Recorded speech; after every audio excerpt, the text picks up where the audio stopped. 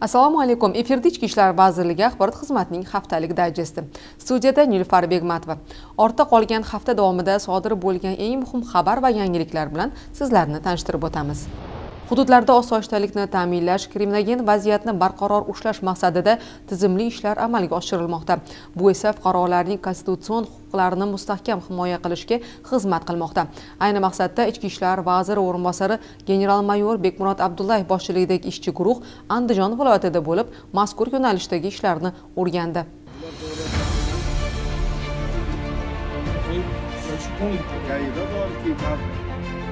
Bunların işler. Bunların sorarız.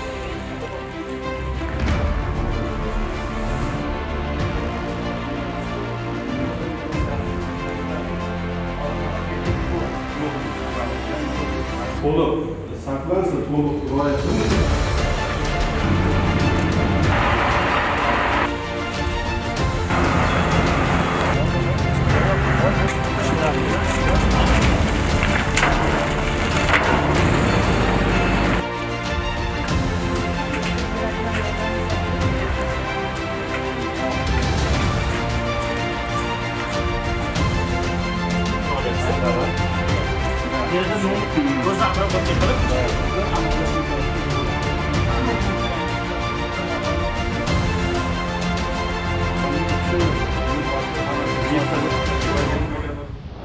Sirdaryo viloyati ichki ishlar boshqarmasi jamoat xavfsizligi xizmati huquqbuzarliklar profilaktikasi boshqarmasining shahar tumanlaridagi inspektor psixologlariga ikki kunlik o'quv seminar darslari tashkil etildi.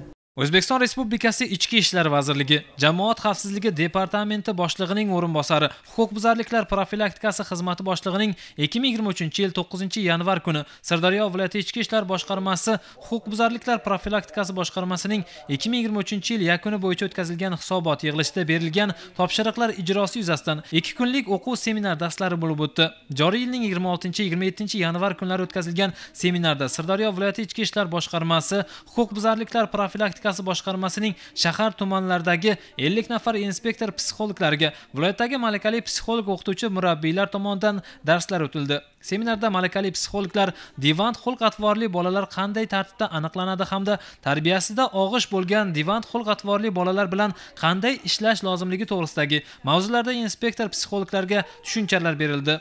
Ushbu o'quv seminar mashg'ulotlaridan ko'zlangan asosiy maqsad kelgusida umumiy o'rta ta'lim maktablari o'quvchilari orasida jinoyat va huquq buzarliklarga moyil yoshlarni erta aniqlash hamda ular o'rtasida sodir etilishi mumkin bo'lgan huquq buzarliklarni barvaqt oldini olishga qaratilgandir. Sport insonni kamolotga yetishiga ko'maklashuvchi vosita sifatida hayotimizda muhim rol o'ynaydi. Ichki ishlar xodimlarining har tomonlama sog'lom bo'lishlari uchun tizimda muntazam sport tadbirlari va musobaqalar tashkil etib kelinadi. Ayni shu maqsadda ichki ishlar vazirligi markaziy apparati sohaviy xizmatlari o'rtasida sportning mini futbol turi bo'yicha musobaqa o'tkazildi. Xabaringiz bor kuni kecha o'zbekiston respublikasi qurolli kuchlari tashkil etilganligining 32 yilligi va 14 yanvar vatan himoyachilari kuni munosabati bilan ichki ishlar vazirligi tarkibiy tuzilmalari. Shaxsiy tarkibi o'rtasida sportning mini futbol turi bo'yicha ichki ishlar vazirligi birinchiligi musobaqasi bo'lib o'tdi. Mazkur musobaqada vazirlikning tarkibiy tuzilmalaridan 20 ta terma jamoa 4 ta guruhga bo'lingan holda o'zaro bellashdi. Musobaqaning final bosqichi esa joriy yilning 27 yanvar yanvar kuni yunusobod tumanidagi o'zbekiston sport majmuasida bo'lib o'tdi.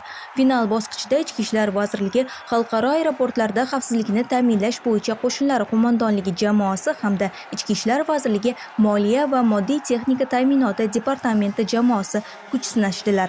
Har bir jamoa a'zolarining barchasi birinchilikni qo'lga kiritish uchun bor kuch g'ayratlarini ishga solib maydonda to'p surdilar.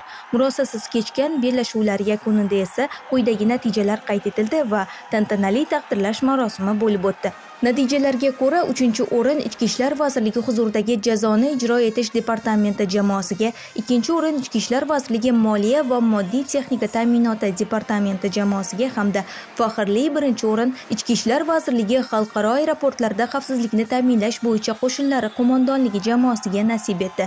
Shuningdek, eng yaxshi o'yinchi, eng yaxshi hujumchi, eng yaxshi himoyachi va eng yaxshi darvozabon nominatsiyalari bo'yicha ham g'oliblar aniqlandi. Musobaqada g'olib va sovrindor bo'lgan jamoalar vazirlik rahbariyati tomonidan kubok diplom medal hamda qimmatbaho sovg'alar bilan taqdirlandilar.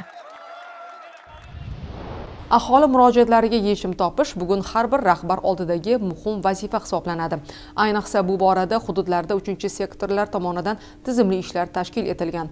Xususan xorazm viloyati ichki ishlar boshqarmasi boshlig'i tomonidan urganch shahri aholisi murojaatlarini o'rganish maqsadida sayyor qabul o'tkazildi. Mavzuni muxbirimiz davom ettiradi. Mamlakatimizda inson qadrini ulug'lashga qaratilgan islohotlar kundalik hayotimizga izchillik bilan tatbiq etilmoqda. Inson qadrining darajasi avvalo uning muammosi va murojaatiga davlat boshqaruv organlari mas'ul xodimlarining e'tibori bilan bevosita bog'liqdir desak mubolag'a bo'lmaydi. Shu bois xorazm viloyatida sektor rahbarlari tomonidan yurtdoshlarimizning murojaatlarini qabul qilish va qonuniy hal etish maqsadida sayyor qabullar o'tkazib kelinmoqda. Xususan xorazm viloyati ichki ishlar boshqarmasi boshlig'i 30 yanvar kuni o'zi rahbarlik qiluvchi hududlarni ijtimoiy iqtisodiy va kompleks rivojlantirish bo'yicha viloyat kesimidagi 3 sektor shtabi binosida navbatdagi sayyor qabulni o'tkazdi. Aholidan kelib tushgan har bir murojaat viloyat ichki ishlar boshqarmasi boshlig'i hamda shahar hokimi va sektor rahbarlari bilan o'zaro hamkorlikda atroflicha o'rganilib qonuniy yordam ko'rsatish choralari ko'rildi. Qo'shimcha o'rganish va tekshirishlarni talab etadigan murojaatlar esa boshqarma boshlig'i tomonidan nazoratga olindi. Shuningdek sayyor qabul doirasida davlatimiz rahbarining 2023 yil 29 dekabrdagi farmoniga muvofiq o'zbekiston respublikasi fuqaroligiga qabul qilingan. Ikki nafar yurtdoshlarimizga va o'zbekiston respublikasining 2020 yil 13 martdagi. O'zbekiston respublikasi fuqaroligi to'g'risidagi qonunining 6 moddasiga asosan o'zbekiston respublikasi fuqarosi deb tan olingan 4 nafar yurtdoshlarimizga shaxsini tasdiqlovchi id kartalar tantanali ravishda topshirildi. Darhaqiqat bugun ushbu 6 nafar yurtdoshimizning yillar davomida intiqlik bilan kutgan orzulari ro'yobga chiqdi. Dasturimiz orqali e'tiboringizga havola etishni rejalashtirgan xabar va lavhalarimiz shulardan iborat edi. Ichki ishlar vazirligi bilan bog'liq ma'lumotlarni internetdagi rasmiy saytimiz va ijtimoiy tarmoqdagi sahifalarimiz orqali ham olishingiz mumkin. Unutmang osoyishtalikni saqlashda barchamiz birdek mas'ulmiz. Salomat bo'ling.